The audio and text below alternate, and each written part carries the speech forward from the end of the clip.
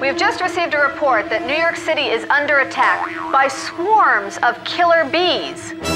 They have been seen approaching from Brooklyn, the Bronx, Queens, and Staten Island. Hallo und willkommen, meine Freunde. Heute dreht sich alles um das Juwel The Adorned, die Geschmückten auf Deutsch. Dieses Juwel wurde 3.23 eingeführt und ist extrem stark. Ganze 5% aller Spieler auf PoE Ninja, die aufgelistet sind, nutzen dieses Juwel. Und ich erkläre euch heute, wo ihr es bekommt und warum es so stark ist. Was macht jetzt speziell dieses Juwel? Ich habe hier einmal eins mit 76%, das variiert halt von 50 bis 150% bei diesem Juwel, ist corrupted, also kann nicht mehr mit einem Divine Orb bearbeitet werden, dass ihr andere Prozente bekommt. Die liegen fest. Dieses Juwel verstärkt blaue Corrupted Juwele, die ihr gesockelt habt. Hier steht 76% Increased Effect of Jewel Socket Passive Skills containing Corrupted Magic Jewels. Das heißt, ich habe hier mal ein Juwel, es ist Magic, es ist Corrupted, es hat 8% Increased Damage, 7% Max Life und als implizit, der auch durch dieses Adorn verstärkt wird, 5% Increased Effect of Non-Damaging Ailments.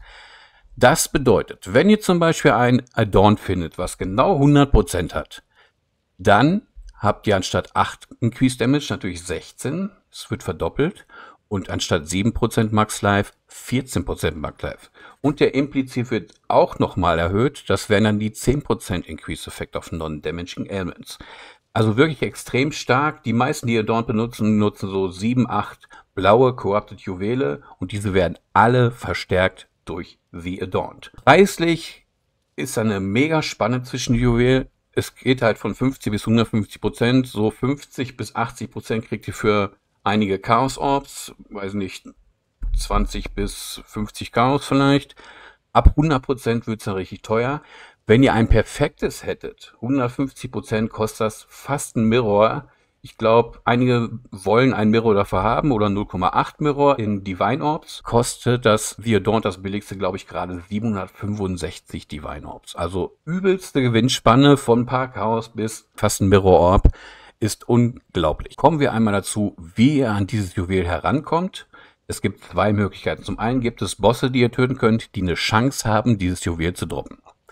Das sind diese vier Aspekte und wenn man diese vier Aspekte in der richtigen Reihenfolge zusammenlegt, entsteht The Adorned. Ich zeige das gleich auch. Ich habe zwei Sets geholt und werde das vorführen. Zum einen gibt es den Boss Aziri, Queen of the Val. Das ist Yuba Aziri. Davon kriegt ihr das Aspekt Beauty, Schönheit.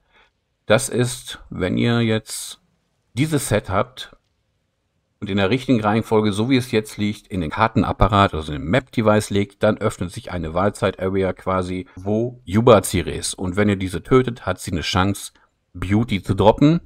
Ist allerdings auch das billigste von allen Aspekten, deswegen könnt ihr es auch kaufen, wenn ihr jetzt nicht Solo Cellphone spielt oder so, weil dieses Aspekt kostet nur 25, 30 Chaos, ist von allen Vieren das absolut billigste. Das nächste, was es gibt, ist die Ambition.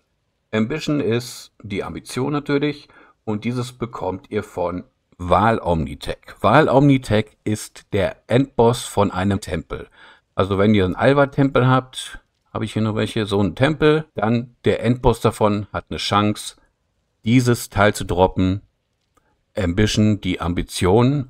Und dieses kostet momentan 2,8 bis 3 Divine. Das ist schon ein bisschen teurer, aber das zweiteuerste, glaube ich, nur. Das dritte Aspekt, worum es geht, ist Cooperation, Kooperation. Und dieses bekommt ihr im Wahltempel, bei dem Wahltempel-Boss. Wenn ihr rote Maps oder speziell 16er Maps, glaube ich, co-optet mit einem Wahlorb, dann ist es Chance, dass diese Wahltempel-Map rauskommt. Ihr könnt auch bei Kirak öfter mal eine Mission kriegen, wo eine Wahltempel-Mod drauf ist, also so eine Wahltempel-Map. Und dort diese drei Endbosse, das sind diese Zwischenbosse von Yuba-Serie, die sind dort die Endbosse. Wenn ihr die legt, habt ihr eine Chance, Kooperation zu bekommen. Und Kooperation kostet momentan 1,6 bis 2 Divine. Also das ist das zweiteuerste. So. Das hier war 25,30 Chaos. Das hier war jetzt das 1,8, 1,6, 2 Divine. Und dieses hier ungefähr 3 Divine, 2,8 bis 3 Divine. Und das absolut teuerste, weil es auch am schwierigsten zu bekommen ist, ist dieses Aspekt Curiosity, Neugier heißt es auf Deutsch.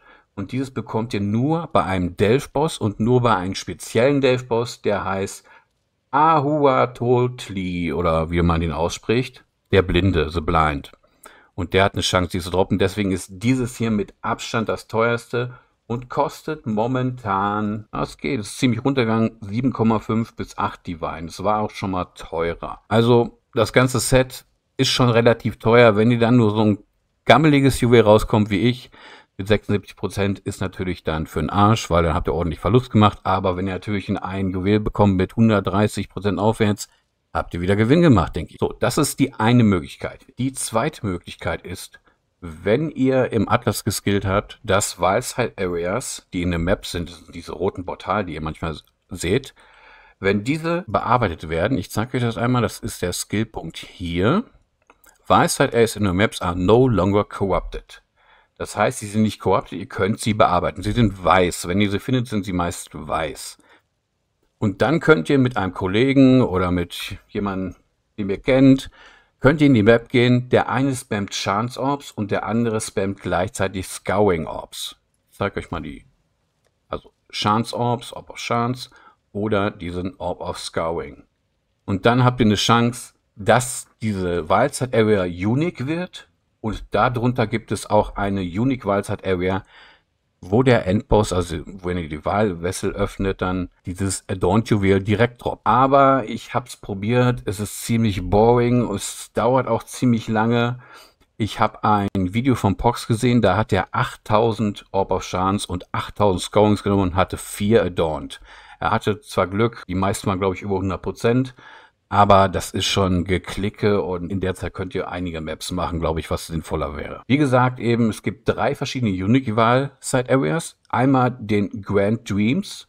Dort können Fractured Items droppen, also Items, die einen festen Mod haben, den ihr dann bearbeiten könnt. Also die können extrem teuer sein. Ist auf jeden Fall sehr geil. Wird sich so, lohnt sich sogar, glaube ich, mehr als dieses Adonta zu fahren. Das zweite, was es gibt, was am häufigsten kommt, ist Endless Nightmare Wildzeit Area. Das ist einfach eine normale Wildzeit Area, aber ihr habt am Ende eine 80-prozentige Chance, dass sich ein Portal öffnet und eine weitere Wildzeit Area kommt.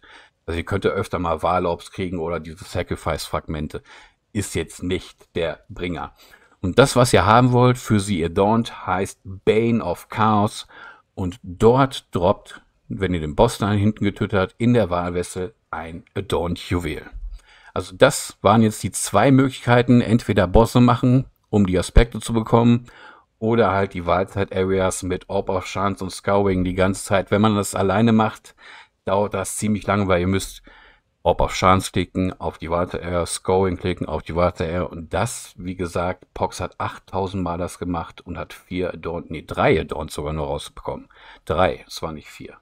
Also alleine ist das ziemlich Schrott. Wenn, dann macht zu zweit und hofft, dass ihr natürlich diese Wahlzeit Area Bane of Chaos bekommt, wo ihr ein Adorn bekommt. Jetzt zeige ich euch mal eben, wie man das hinlegen muss. Ich glaube, es war so, so und den in die Mitte und zack haben wir einen Adorned. Ich habe keine Ahnung, wie viel Prozent. Lass es ein gutes sein, lass es ein gutes sein. 51. Wie gesagt, es geht von 50 bis 150 Prozent und 51, oh mein Gott. Also das war schon mal übelster Verlust. Naja, einen haben wir noch, vielleicht haben wir Glück und kriegen irgendwas über 100 mal. Den dahin, den dahin und den hier in die Mitte. Und wir haben jetzt drei Adorned. Leider könnt ihr sie auch nicht 3 zu 1 bei Händler tauschen, weil sie corrupted sind. 130 Prozent. So, hier sehen wir es, 130 Prozent, 25, 26, 27, ja, hier schon 133. Also 25, 26 Wein, das war auf jeden Fall ein guter Hit. Das kann man mal beiseite legen, die anderen beiden, 76 und 51, würde sich keiner sockeln, kannst einfach wegschmeißen wahrscheinlich. Jetzt wollte ich euch noch einmal zeigen, es gibt ein Spreadsheet, was die Effizienz, die Breakpoints zeigt. Ich erkläre es euch mal kurz. Es sieht ein bisschen wild aus und sorry für den Flashbang. Oh, sehr hell. Egal. Das zeigt euch auch, wo die Breakpoints sind. Wir haben ja eben, wie ihr gesehen hattet, ich zeige es euch nochmal, ein Juwel gehabt mit zum Beispiel 7% Max Life. 7% Max Life, das sind hier die Mods. Dann geht ihr auf 7. Wenn ihr einen 50% Adorn habt, das ist die Zahl hier oben, dann sind die 7% Max Life 10% Max Life. Ab einem 58er Adorned wären es 11 Max Life. Das gleiche gilt für den Stat 8% Damage Increase, der auf New war. Das wäre hier. Der hat 12 von 50 bis 62. Ab ein 63er Adorned wären es 13% Damage. Also hier könnt ihr auf jeden Fall gucken, wann ist der Breakpoint, wann lohnt es sich. 7% Max Life. Es nützt euch nichts, wenn ihr euch jetzt einen 59er, ihr habt einen 59er Dornt und kauft euch für mehr Geld ein 71er, weil er hatte immer noch 11% Max Life. Es lohnt sich erst, wie man hier sieht, der Breakpoint ab 72er Adorned. Hier ist alles grün, weil 100%, da wird auf jeden Fall alles erhöht, deswegen ist hier auch alles grün angezeigt. Und das geht halt bis zu 150% hier, bis zu 150%. Das ist Max Adorned. Also dieses Spreadsheet, diesen Breakpoint Chart werde ich euch unter dem Video verlinken. Dann könnt ihr sehen, okay, ich will noch mal ein Bild ein bisschen ausbessern, der auch Adorned benutzt und welches Juwel bräuchte ich mit wie viel Prozent, um den und den Stat zu erhöhen. Also das ist auf jeden Fall sehr interessant und werde ich euch natürlich im Video verlinken. So, ich hoffe, es hat euch gefallen, das Video. Es hat vielleicht ein paar Neuigkeiten gegeben, die ihr noch nicht wusstet. Wenn euch das Video gefallen hat, lasst doch bitte ein Like da. Abonniert meinen Kanal und wir sehen uns gerne, gerne beim nächsten Video wieder. Es kommen noch einige. Ciao.